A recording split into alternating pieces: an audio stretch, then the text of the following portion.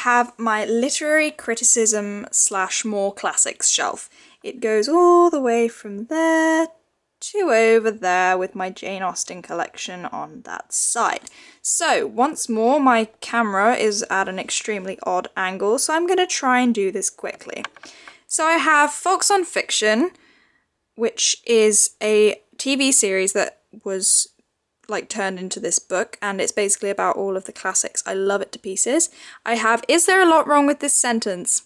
Only I would buy a puzzle book that is just grammar. It's basically correcting people's grammar. Yeah. I'm I'm a bit of a grammar Nazi. Um, then I have Oscar Wilde's Stories for All Ages, which have little side notes by Stephen Fry. I have like a little Stephen Fry shrine just here. It's like Stephen Fry. I have Stephen Fry, The Ode Less Travelled, which is a book about poetry, which is freaking amazing and I love it. I have The Fry Chronicles, which a friend bought me for my birthday a couple of years back, or Christmas, can't remember, which I am going to read over Christmas, hopefully, fingers crossed. In case you haven't noticed, I love Stephen Fry so much, he's amazing. Then I have my Grammar and I and I before E except after C, two wonderful grammar books, like I said, Grammar Nazi. I have The Art of Fiction by David Lodge, and David Lodge is a well known critic of literature, and my English teacher said that he was one of the best people to read, so I'm going to read that. I have Beginning Theory by um, Barry. He is another very well known critic and um, literary theorist. Would you call it a literary theorist? I don't know, but he's also very good. I have The Book Lover's Companion, which was in my book haul. Clever Maids, The Secret History of the Grimm Fairy Tales. This is all about how dark the Grimm Fairy Tales was, and it's really, really interesting. I also have How Shakespeare Changed Everything by Stephen March Marche? Mar- Marche? I'm going to say Marche because it sounds French. Um, then I have my Scrabble dictionary because when I play Scrabble, I have lots of disputes about whether words are allowed on the board. I get serious about my Scrabble, so I bought a Scrabble dictionary for 99p from the works so that we could avoid said disputes. Okay, so moving on, I have The History of English in 100 Words, which is a book I read on my work experience all about the origins and etymology of words, which was freaking amazing. I have Silly Novels by Lady Novelists by um, George Eliot. I have Days of Reading by Marcel Proust, as lots of people have been correcting me. The cover is misleading, so I pronounced it wrong the first time I said something about it, but now I'm correcting myself so people can stop commenting on that video. I have Why I Write by George Orwell, and all three of these are part of the Penguin Great Ideas series, which is really lovely, and all of the covers are absolutely beautiful.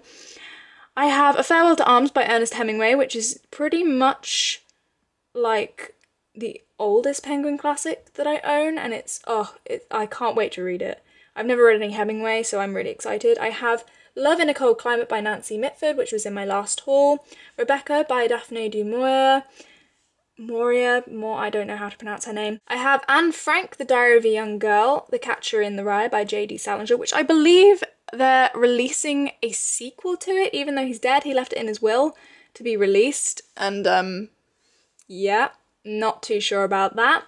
Then I have little coffee table book, Tips for Vintage by Cath Kidston. You've got to love Cath Kidston if you love vintage because it's just amazing. Then I have this one. I actually got this at a vintage fair or an auction in my village. And um, yeah, it's basically Shakespeare's tales in a nutshell. So some wonderful author has put all of these Shakespeare's stories into this one book, and it's amazing. I'm trying to sort of hold my tripod with one hand and open this with the other. Oh my god. Um, so yeah, it's really lovely, it's really old, and it was really cheap. So bonuses all around. So I have Marcel Aymé's The Man Who Walked Through Walls, which is another collection of short stories that I bought in Bath. I have my little Jane Austen shrine interrupted by a few things here. I did it kind of in height order because things that aren't level really irritate me. So I've got Jane Austen's little advice book. I have the Jane Austen handbook. And then I have the little dictionary of fashion by Christian Dior. You've got, oh my god, Christian Dior is a god. Um, The Guide to Queen's English, which I got when um, I went to Buckingham Palace, which is amazing. Um, then I have Jane Austen's Guide to Good Manners, which is always good because everybody should have good manners. Um, being Elizabeth Bennet, create your own Jane Austen adventure, which is the funnest thing ever. You just like work your way through the Jane Austen novels as the characters answering questions, and oh my god, it's so funny. You have to like pe- turn to page numbers when you do your answers, it's hilarious. And then you have Jane Austen's Guide to Romance, which is necessary in my life. Um, the Goddess Guide, which is something my mum bought me before she went to New York. We'd had an argument the night before and she left really early in the morning, and I found it on my bedside table when she left and I was like crying because I didn't want her to leave. This is my Do It Yourself Adventure Time journal that Izzy bought me. I also have William Shakespeare's Star Wars right here, which is freaking awesome. And then on the last two, I have my copy of Romeo and Juliet by William Shakespeare and the Jane Austen Guide to Happily Ever After, which was in my last book haul. Okay, so this shelf is something that you've not seen before. It's on the other side of my bedroom. Yes, I have three bookshelves. Oops, I have lots of books. Never mind, but um, this one is less ordered and more haphazard, so let's just get right to it. So the first shelf looks a little something like this. I have all of my sort of beautiful, pretty little books on this shelf and my fairy tales and books that don't fit on the other shelf. As you can see, I've got my little little read books signs up there, which is freaking awesome. I bought them in America. They were in my last haul. I have my Bible up here.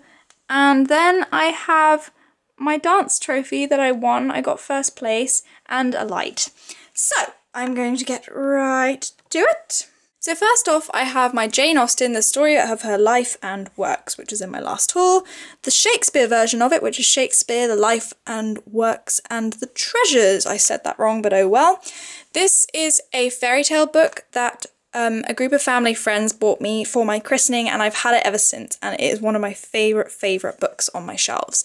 I then have The Hunger Games, the official illustrated movie companion. This is my mum's um, Disney's fairy tale book. She had it when she was younger and then she passed it on to me. I always used to go around to my nan's house and read it and it's just really lovely and it's beautifully illustrated. Then I have The Lion, the Witch and the Wardrobe by C.S. Lewis, which is something my dad used to read to me. Then I've got The Debrett's Etiquette for Girls, which is basically everything you need to know about good manners. Like I said over on the other shelf, everybody should have good manners, so this is cool. Then I have my hardback copy of The Night Circus. I have my Jane Austen seven novels leather-bound. My only Folio Society book, which is Utopia by Thomas More. I actually became obsessed with this book because of the film Ever After, if you've ever seen it, her book that she keeps from her dad. It's basically a Cinderella story, but the book that she keeps from her dad is Utopia.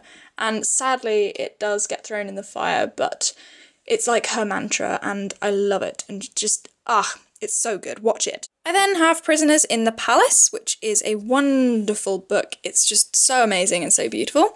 I then have I Capture the Castle by Dodie Smith, which was amazing. I have all of my Jane Austen novels again, apart from this one. I have Sense and Sensibility, Persuasion, Pride and Prejudice, Northanger Abbey, Emma, Mansfield Park so all of them are there. I then have my two book journals, which is where I write all of my notes. Um, I got these from Paperchase. I got one for my birthday and the other one I bought because I wanted another one. But these are really, really useful and they actually have little sections to do books you've borrowed and lent so you don't lose track and put notes in about your books. I'm going to close that because that's one of my next reviews so I don't want you to see it before I've filmed it.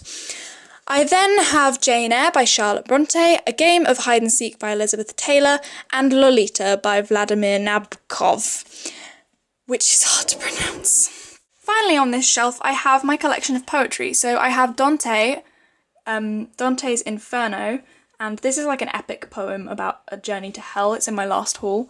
Um, I also have all of these Phoenix poetry anthologies, which I bought from the works for 99p each. If you don't have any of these, I would seriously recommend going to buy one. I have Oscar Wilde, William Shakespeare, John Donne, Edgar Allan Poe, Robert Burns, Alfred Lord Tennyson, Emily Dickinson, and Christina Rossetti. I like poetry, so yes. My next shelf is a little bit of a miscellaneous shelf. It's kind of childhood books and pads and books that don't fit anywhere else and loads of pens. So I have on here If You Give a Mouse a Cookie, which is one of my favourite childhood books and it's so funny. Um, the Silver Slippers, which is another one of my favourite childhood books. The Evolution of Mara Dyer, which I didn't want to put next to The Unbecoming of Mara Dyer because it's a different height and that would not be cool. I have I Was Jane Austen's Best Friend and the sequel Jane Austen Stole My Boyfriend. These are really good for any young readers that like Jane Austen because I read these in like year nine after I'd read no, before I'd read Pride and Prejudice, and they really made me want to read Jane Austen's novels, so they're really great. I also have Ballet Shoes by Noel Streatfeild or Streetfield, however when you pronounce it. I have Threads by Sophia Bennett, which was a phenomenal book. It was um it was so great. It dealt with like international relations and things like that so well, and it's sort of does it through fashion. There's this girl who's an um a runaway from another um, country and she is amazing at designing clothes. I read this when I was like going through my stage of, of being obsessed with textiles, but um, I'm still obsessed with textiles, but not as much. Um, then I have I Coriander by Sally Gardner, which is another amazing book. I love it to pieces. It's very dark, but it's amazing. I also have Playing with the Grown-Ups by Sophie Dahl, who is Roald Dahl's granddaughter, and this was a very good book also. It's a very good coming-of-age book for anyone who's growing up. Then I have my two lovely Orchard books, Shakespeare little editions, the children's editions. I have A Midsummer Night's Dream and The Tempest. I also have my Molly Moon's incredible book of hypnotism, which was probably my favourite childhood book after this one right here. Um, this is an amazing book and it's just I've read it so many times. Next I have Matilda by Roald Dahl, which is one of my favourite childhood books ever, and I just can relate to Matilda so much. I think any book lover can relate to Matilda. Then I have The Suitcase Kid by Jacqueline Wilson. I used to love Jacqueline Wilson, and I've read pretty much every single one of her books. The next part of this shelf is less books and more pads, but I have my pot of pens here for revision. I keep it topped up at all times. I have loads of Sharpies and my awesome pen that Cecily got me for my birthday that I use to annotate.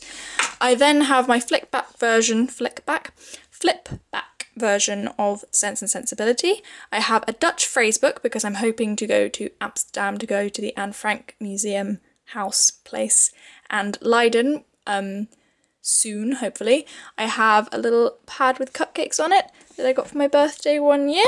I used it for my homework. I got this one for my birthday this year. I have the Hunger Games tribute guide. Oh, everything's falling over. I have um, Stars and Planets book. It's really great. I need to move this ribbon. Ah, not working. But um, this my friend Miles bought for me for my birthday, and he also got me a star. So I can find it. So I stars and planets really interest me. I don't know why, but they do. I've never really liked science, but that one aspect of it I've always really liked. Then I have a sketchbook where I just do random drawings when I get bored. I have my ladybug pad that was in my last haul, my literary transport pad, um, a guide to Paris because Paris is one of the most beautiful, amazing places on earth, um, and a picture um, book of my levers, um, leavers day in year 11. Oh, it's upside down. I've got some really flattering pictures in here. Mm, yeah. Oh, look at those braces. Oh, that's amazing. Um, moving on. I have Philippa, I have Philippa Gregory's The Kingmaker's Daughter, which I was supposed to read for history but didn't read, but I am still holding out hope that I will read it at some point because apparently Philippa Gregory's books are really amazing. And then I have these fabulous, fabulous, fabulous sticky notes with sewing machines on them. They are so beautiful. They're from Paperchase and they are just amazing. They're, oh, they're so pretty. Now I have probably the most boring shelf. This is my school shelf where I keep all of my school books, etc, etc. Um, yeah, so I have a pad, some folders with my work in, my Crusades textbook, another pad, literature criticism and style textbook, study and study skills handbooks. These Palgrave Macmillan handbooks, if you ever need any help with anything in class or university, They are probably the best books you could buy to help you. Um, I have a UCAS book with universities in it that specialise in journalism, broadcasting, media production, and performing arts.